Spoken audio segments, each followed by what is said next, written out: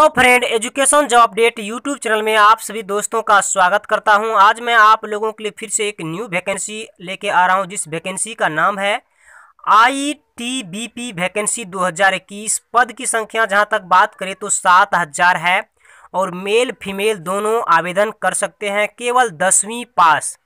सभी राज्यों के लिए मतलब बिहार से ही नहीं बल्कि भारत सरकार के सभी राज्यों से आप आवेदन कर सकते हैं, चाहे आप मेल हो, चाहे फीमेल हो। उसका सारा प्रक्रिया आज देखेंगे आप इस वीडियो के माध्यम से। Education job update YouTube channel के माध्यम से आपने अभी तक इस चैनल को सब्सक्राइब नहीं किए हैं तो जल्द से इस चैनल को सब्सक्राइब कर दे और बेल आइकन को प्रेस कर ले, ताकि आप इसी तरह का नए वीडियो नोटिफिकेशन के माध्यम से आपको मिलता रहेगा। तो सबसे पहले इसके जो आज के जो अनाउंसमेंट दिया गया है, उस चीज़ को आप लोग देखिए क्या क्या प्रक्रिया है। आईटीबीपी को मिल सकती है सात नई बटालियन तो पंकज कुमार पांडे ने यह सारा प्रक्रिया आपको इस ऑफिशियल वेबसाइट के अंतर्गत आज के हिंदुस्तान पेपर में इस चीज़ का चर्चा किया है और कहा जा रहा है कि बेहतर है मुस्तैद निगरानी के लिए आईटीबीपी बटालियन चरणबद्ध तरीके करती है। सम, जैसे कि आप देख रहे हैं, पच्चीस बटालियन की ज़रूरत है सीमा पर प्रमुख निगरानी के लिए।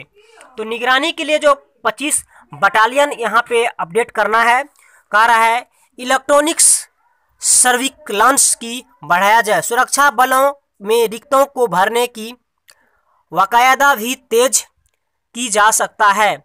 और जैसे कि आप सभी को पता है, बड़ी संख्या में सभी बलों में पद खाली है।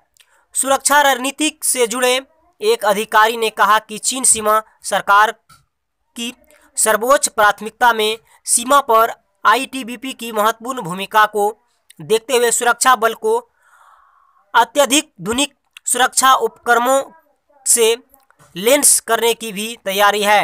इलेक्ट्रॉनिक सर्विलेंस भी बढ़ाया जा सकता है। अतिरिक्त बटालियन सीमा पर बेहतर निगरानी के लिए आईटीबीपी को मिलनी चाहिए। अलग अलग समय पर कई प्रस्ताव सरकार को भेजे गए हैं और आंतरिक बैठकों में ये मामला चल चुका है कि यहाँ पे आपको बताया जा रहा है। अरुणाचल सीमा के लिए 12 बटालियन की अतिरिक्त ज़रूरत है। उसके बाद करीब यहाँ पे लगभग आपको उसके देखा जाए तो 25 बटालियन की अतिरिक्त ज़रूरी है। और उसके साथ आप देखेंगे छोटा सा, जैसे कि आप देख रहे हैं कि सीमा की निगरानी और सुरक्षा इंतज़ाम के लिए आवंटन किया जा सकता है। नई बटालियन का प्रस्ताव भी इसमें शामिल है। सीआरपीएस ने भी नई बटालियन की ज़रूरत सरकार को बताई है। सूत्रों ने कहा कि चीन सीमा पर जिस तरह के हालात हैं, उसे देखते हुए करीब 25 अतिरिक्त बटालियन का ज़रूरत है। तो इसीलिए बटालियन की ज़रूरत को देखते हुए सरकार ने सख्त निगरानी के लिए नई बटालियन की शुरुआत की है।